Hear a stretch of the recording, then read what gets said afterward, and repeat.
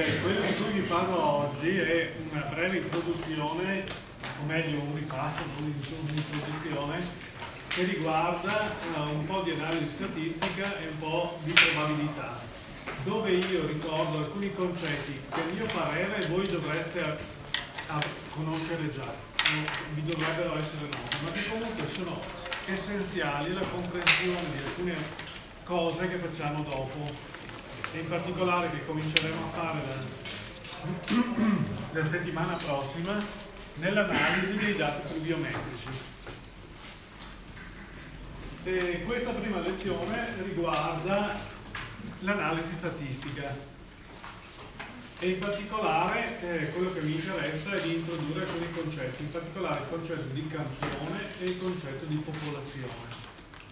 Sono tutti concetti elementari, quelli che vado a ricordare, che non richiedono particolari conoscenze, particolari sforzi, ma sono tuttavia necessari.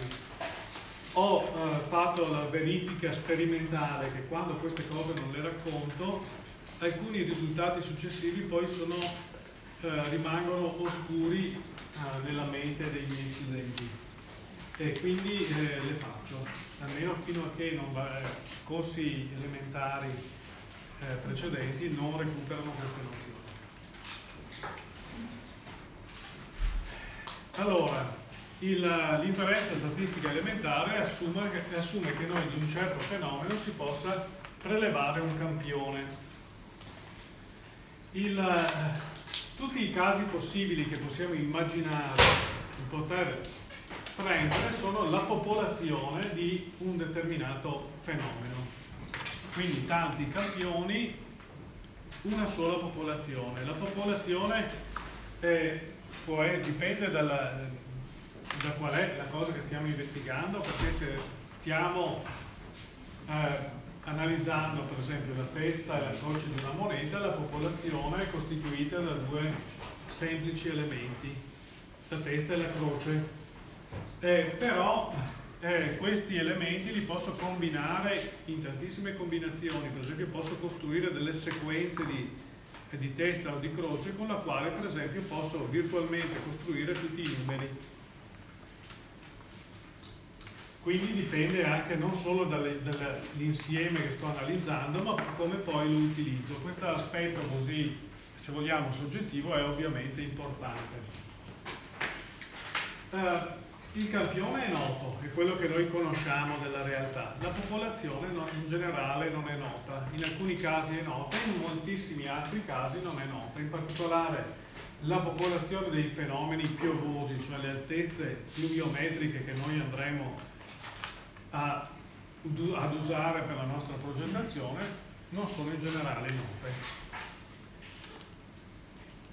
Eh, una eh, questione sulla quale ritornerò più avanti è che eh, queste eh, popolazioni queste, eh, o questi campioni costituiscono delle estrazioni a caso di certi fenomeni, cioè siano descritti da re, regole di eh, casualità. Casualità è, se volete, l'opposto di causalità semplicemente uno spostamento di, di due lettere, la, lo shift di una lettera cambia completamente il senso. Noi non sappiamo bene che cos'è casuale, che cosa non è ca casuale. Eh, meglio, sappiamo, sappiamo definire degli, delle, degli eventi casuali quando questi esiste una legge che correla, per esempio, che ne so, una data, per esempio, con un determinato fenomeno, un fenomeno con un altro fenomeno. Eh, però anche qui mi rendo conto, mentre lo dico, la questione non è, eh, non è così semplice da delineare quando si tratta di dati che vengono presi in natura. Generalmente, per esempio, la registrazione di una sequenza di, di precipitazioni è il mio il mio scrutatore, la sequenza, la sequenza delle, delle, delle serie di, di precipitazioni, per esempio, è una sequenza irregolare. Noi non sappiamo se veramente al di sotto di questa eh, sequenza ci stia un fenomeno deterministico, anzi possiamo pensare che siano in questo caso dei fenomeni deterministici, però l'irregolarità che noi osserviamo nei dati ci fa supporre che ci siano degli elementi che, sono, che sfuggano un determinismo diciamo banale, anche quando i fenomeni sono descritti da fenomeni eh, sono complessi, noi usiamo comunque l'armamentario della statistica e della probabilità. Sulla popolazione si fanno delle ipotesi. Vi dicevo eh, una serie di dati irregolari, per esempio queste sono le temperature misurate a Bergen. Sono le temperature, immagino siano le temperature settimanali o mensili, misurate nel corso degli anni. Come vedete è un, record molto irregolare. Allora che cos'è che genera la temperatura? Che genera la temperatura è eh, l'irraggiamento solare più tutti gli scambi termo, termoconvettivi che avvengono nell'atmosfera, eccetera, eccetera, eccetera. Quindi dei fenomeni che in linea di principio sono deterministici, però la registrazione è molto irregolare e noi comunque per comprenderla la analizziamo dal punto di vista statistico. Eh, questa, questa, è una sequenza di dati, quella che rappresentiamo. La sequenza di dati la possiamo rappresentare in varie forme diverse e quando noi la rappresentiamo in una forma oppure in un'altra, eh, noi stiamo già facendo una prima elementare statistica, analisi statistica eh, eh, di, dei dati. Come vedete sotto, gli stessi dati di sopra sono arrangiati in una rappresentazione diversa, cioè raggruppiamo degli intervalli di temperatura e contiamo quanti elementi, quante volte abbiamo misurato una certa temperatura costruiamo quello che tutti voi sapete essere un istogramma. Anche questa è una rappresentazione dei dati. Questa si chiama serie temporale per la norma e questo si chiama istogramma come voi sapete.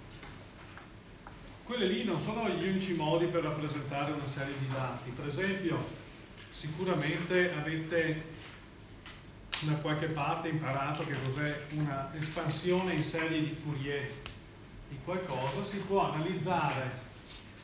il, si possono analizzare gli stessi dati dal punto di vista delle frequenze, cioè eh, quanto una serie una, un certo dato, per esempio, si ripete o quanto ciclicamente si ripete.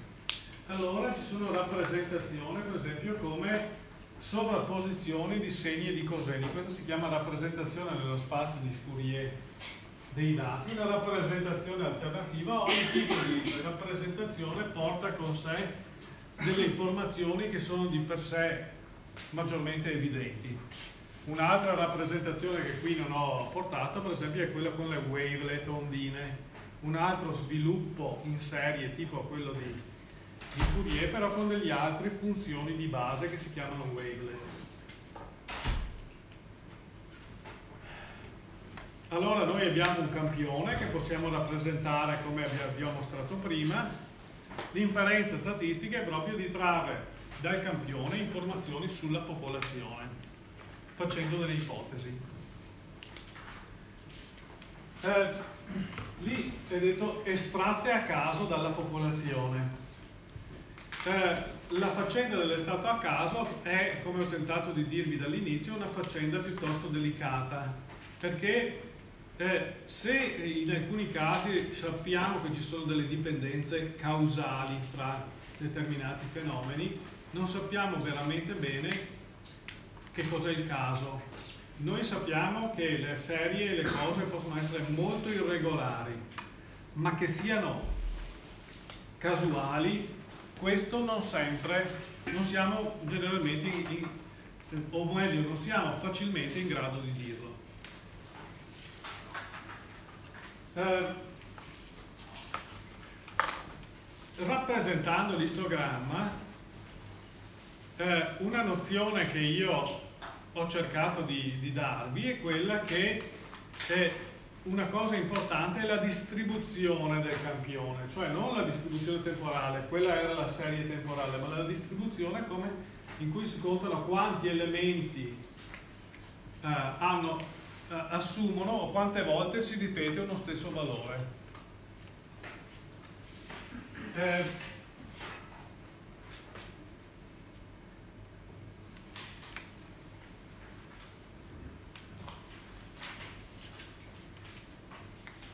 gli esperimenti statistici eh, nel nostro caso sono delle misure sono delle misure, questa sì che è una bella riproduzione delle slide, le misure eh, nel nostro caso sono eh, una sola misura, spesso, una sola serie di misure di temperatura, una sola serie di misure di altezza di precipitazione.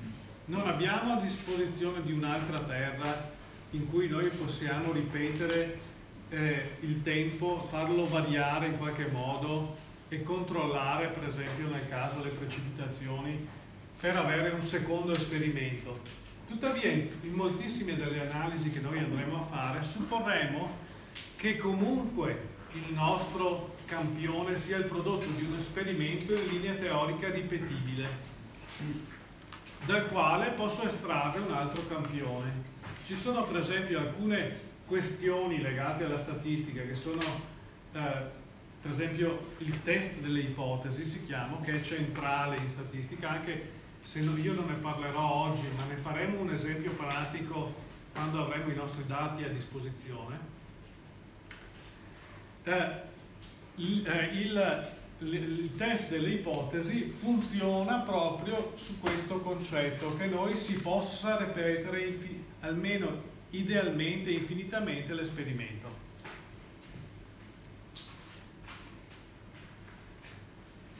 Allora vediamo che cos'è una distribuzione empirica dei dati. Noi abbiamo una serie temporale, una serie temporale nel nostro caso è sempre una, una serie discreta di dati, anche se in alcune situazioni noi le, potremmo in teoria pensare di rappresentare i dati con delle curve continue, cioè definite per ogni numero reale. Ma la serie di misure che noi abbiamo sono comunque una serie di campionamenti discreti ottenuti a tempi discreti. Qui li ho chiamati H1 ed HN. Eh, se io ho un insieme di dati posso prescindere dall'ordine temporale. Questo H1 e HN in questo caso è una serie temporale. Non sempre in statistica ho a che fare con, con serie temporali, perché io posso, per esempio, fare ripetere lo stesso esperimento n volte contemporaneamente la statistica, così come le, pure la probabilità di per sé, non avrebbe a che fare con la causalità, ma con l'associazione fra gli elementi. Questo va tenuto in, a mente, però qui ho una serie temporale comunque, n elementi presi in fila nel tempo. Eh, quello che faccio è li ordino in, maniera crescente, cioè la serie HJ, che il cappello che io ho scritto sotto, è una serie in cui H1 è minore di H2 che è minore di HN. Posso a questo punto contare per ognuno degli elementi che io ho qui quanti elementi precedono un certo valore. Per esempio, vado su H1, quanti elementi precedono H1? Beh, se metto precedono o sono uguali ad H1 ne ho uno. H2, quanti elementi ho minori o uguali di H2? 2. E così via fino ad arrivare ad n. Poi posso dividere per il numero di elementi che ho nel campione n quello che scrivo qui in effetti è proprio questo. Costruisco questa curva che si chiama empirical cumulative distribution function. Funzione di distribuzione cumulativa empirica dei miei dati contando per ogni dato quanti dati lo precedono e dividendo il numero totale per il numero totale dei dati. Se divido per il numero totale dei dati il numero più grande che ottengo è 1 quindi la distribuzione empirica cumulativa dei dati che dal punto di vista algoritmico uh, si può ottenere con queste due operazioni l'ordinamento della serie temporale e poi la conta di quanti elementi precedono un certo, un certo elemento, l'elemento j-esimo, è quindi una curva che va fra 0 e 1. questa è una rappresentazione di una distribuzione di dati di questo tipo e vorrei dire uno dei concetti centrali in tutto quello che noi faremo, la curva empirica della di, di distribuzione. Ognuno dei pallini che vedete rappresentato lì rappresenta un dato. Se contate tutti i pallini che stanno a sinistra, eh, sono tutti i dati che hanno un valore inferiore all'elemento misurato. Un modo, un altro nome per questa, per questa quantità è curva di, eh, curva di non superamento empirica. Empirica perché qui ho i dati opportunamente misurati. Queste sono precipitazioni che vanno in questo caso da 19 a 87 mi pare millimetri. Sono precipitazioni orarie, sono, è una serie di precipitazioni che poi noi andremo a vedere, anzi l'avete già vista perché nella scorsa lezione che vi ho fatto con Python, quella, quella serie di precipitazioni in Paperopoli, la prima colonna è proprio rappresentata qui.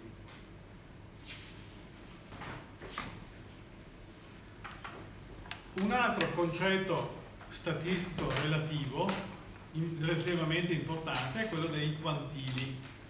In particolare mi posso chiedere quanto, qual è il numero di elementi o la frazione di elementi, beh no, non il numero di elementi, perché qui il numero di, di elementi lo fisso io. Dico qual è la posizione, l'altezza di precipitazione tale per cui metà, metà degli elementi stanno a sinistra e metà degli elementi stanno a destra di quel valore di precipitazione. Uh, la curva empirica qui che io ho ottenuto è una curva, come vedete, che da, assegna una corrispondenza, cioè non è una curva, è un insieme di pallini, se le interpoliamo in qualche modo, rappresenta un, un legame bionivoco fra la scissa, che è l'altezza di precipitazione, e quella che qui ho chiamato probabilità, mettendo P, ma intanto per noi è la frequenza empirica di, di non superamento e mi domando qual è il valore di H tale per cui metà dei pallini stanno a sinistra e metà dei pallini stanno a destra. Allora, per fare questo dico, beh, prendo il valore 0,5 mi vado a selezionare il, il punto sulla curva empirica, inverto la curva e calcolo questo valore che sarà 37 per esempio millimetri di precipitazione in questo caso. Cosa significa questo 37 mm di precipitazione? Significa che il 50% dei valori misurati è inferiore ai 37 mm e il 50%, è superiore ai 37 mm. Il, questo valore si chiama mediana della distribuzione o 0.5 quantile. Questo concetto si può uh, si può generalizzare. Dice, beh, beh lo 0,5 quantile, vabbè, mi piace dividere a metà il mio campione, però perché non dividerlo in quarti, cioè quelli che si chiamano quartili? Allora, se lo voglio dividere in quarti, devo considerare lo 0,75 quantile, lo 0,50 quantile lo 0,25 quantile. O quartile superiore, mediana, quartile inferiore e come vedete ho ottenuto lo stesso, lo stesso diagramma di prima, però qui con tre curve e vedete ottengo naturalmente tre valori corrispondenti a ciascuno dei quartili sull'asse delle, eh, delle precipitazioni. Ne consegue qui che in realtà posso dare una rappresentazione sintetica della distribuzione dei miei dati attraverso questo diagramma che si chiama diagramma a scatola questo diagramma a scatole è un, un rettangolo il cui eh, limite inferiore è il quartile inferiore, la linea in mezzo è la mediana, la linea eh, a destra, questo, a destra in questo caso, è, è il quartile superiore.